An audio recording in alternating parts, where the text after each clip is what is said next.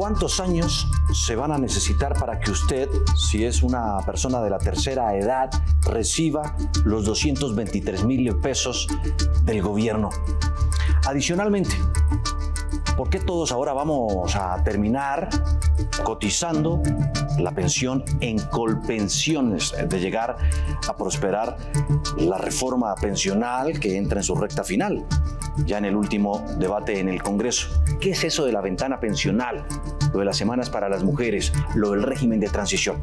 Aquí está esta importante entrevista. ¿Cómo es el tema del régimen solidario? El subsidio para los adultos mayores, ¿es una pensión, es un subsidio? ¿Cuáles son los requisitos y de cuánto es?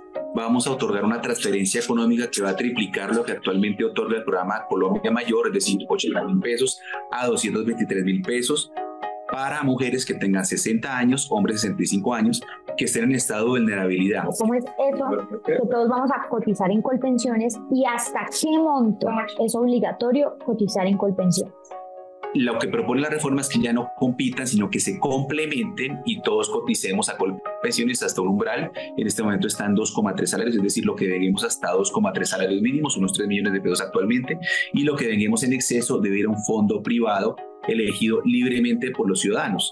¿Cómo es eso del régimen de transición? Para decirlo de forma más clara, ¿quiénes están eximidos de la reforma? ¿Quiénes no les cambian las reglas del juego? El régimen de transición es mantener las condiciones actuales de pensión que están previstas en la ley. Las mujeres que tengan al momento de entrar en vigencia de la reforma 750 semanas y los hombres 900 semanas van a mantener estas reglas de causación de la pensión. Para aquellos que no tengan este requisito al momento de entrar en vigencia, van a aplicar las reglas del nuevo modelo de pilares. Y por ejemplo, si una persona ya tiene la edad de pensión y está cerca de esas 750 semanas, por ejemplo, si es mujer, o 900 si es hombre, podría eh, recibirla, entrar en ese régimen y pagar esas semanas, es decir, que las descuentos? No, realmente no está previsto esto de coloquialmente comprar semanas. Lo que sí puede pasar es que haya periodos de carencia en las historias laborales en las que no aparezcan acreditadas semanas. Esas semanas, si fue la, el, el, la afiliado o la afiliada eh, dada de alta en seguridad social y no hay pagos con alta en seguridad social, se deben pagar con los intereses de mora que corresponden. Bueno, ustedes tienen algo que se llama la pensión anticipada, que si bien entiendo es para esas personas que ya superaron la edad de pensión, pero aún no logran las semanas. Entonces, como para que se puedan pensionar, pero vayan pagando las semanas de su mesada eh, una vez ya pensionados. ¿Cómo es la cosa?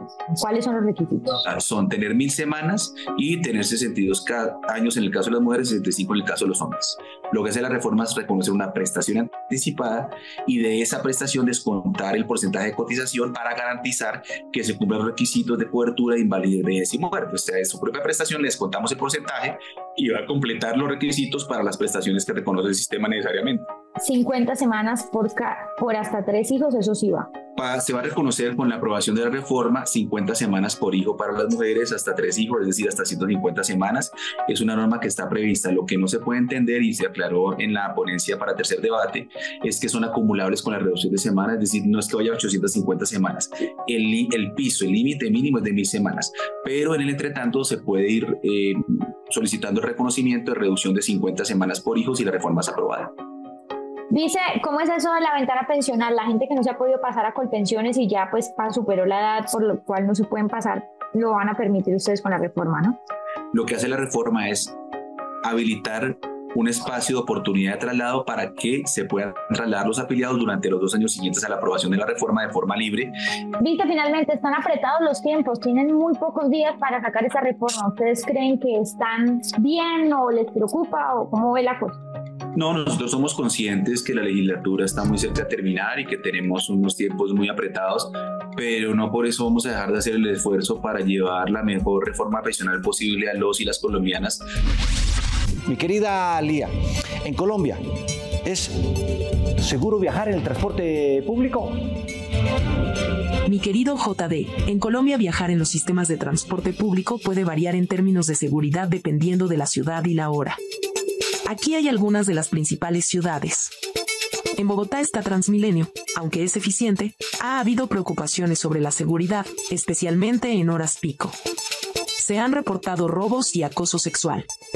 En Medellín el metro es uno de los sistemas de transporte más modernos de Colombia.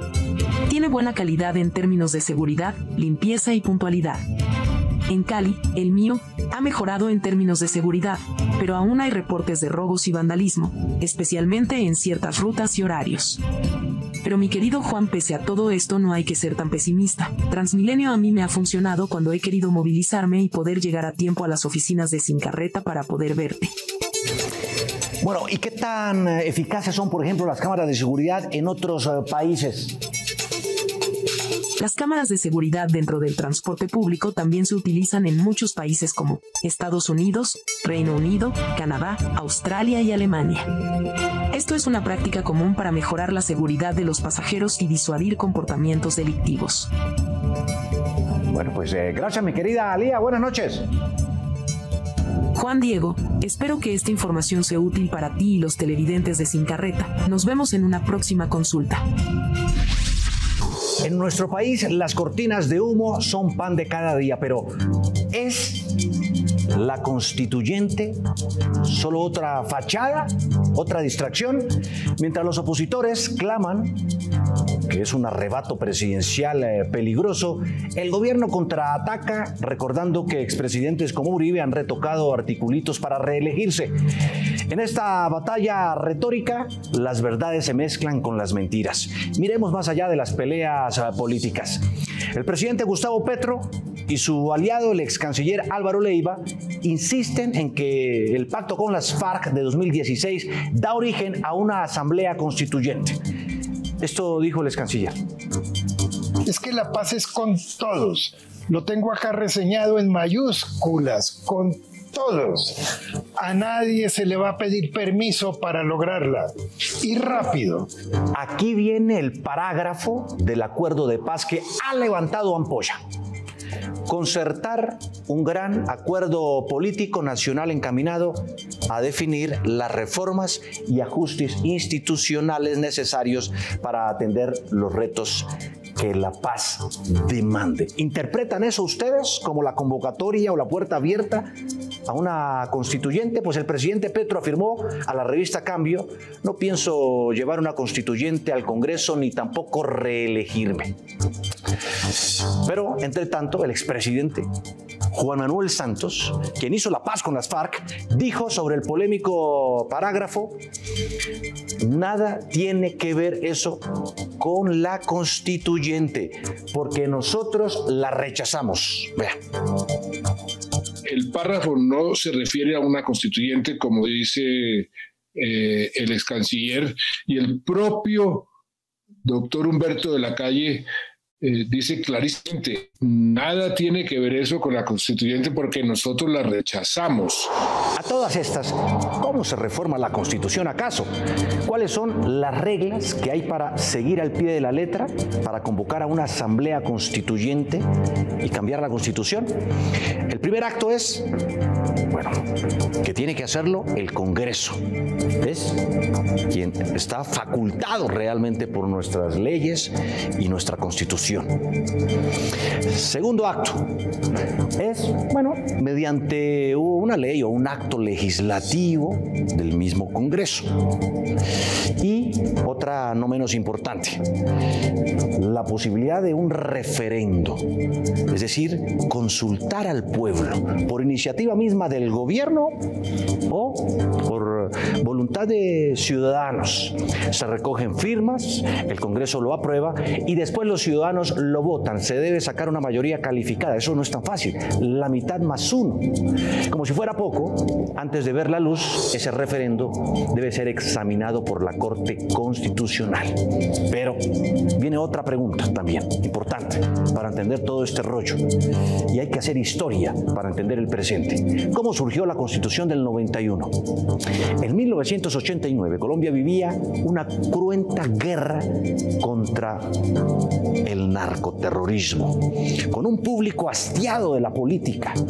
El movimiento estudiantil de la séptima papeleta surge, ejerce presión sobre el presidente Virgilio Barco y también la sala constitucional de la Corte Suprema de Justicia para que accediera a convocar una asamblea constituyente por encima de las leyes y las reglas constitucionales de esa época.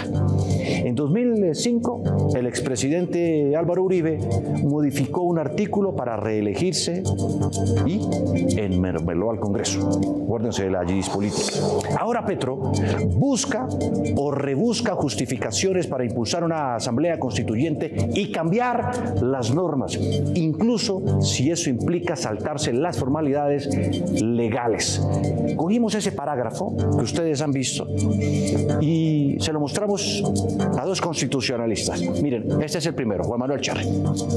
Que ese acuerdo diga que se celebre otro acuerdo, llámese nacional o político, con los partidos, las fuerzas sociales y los gremios, no quiere decir que tal acuerdo tenga efecto jurídico de naturaleza constitucional o legal.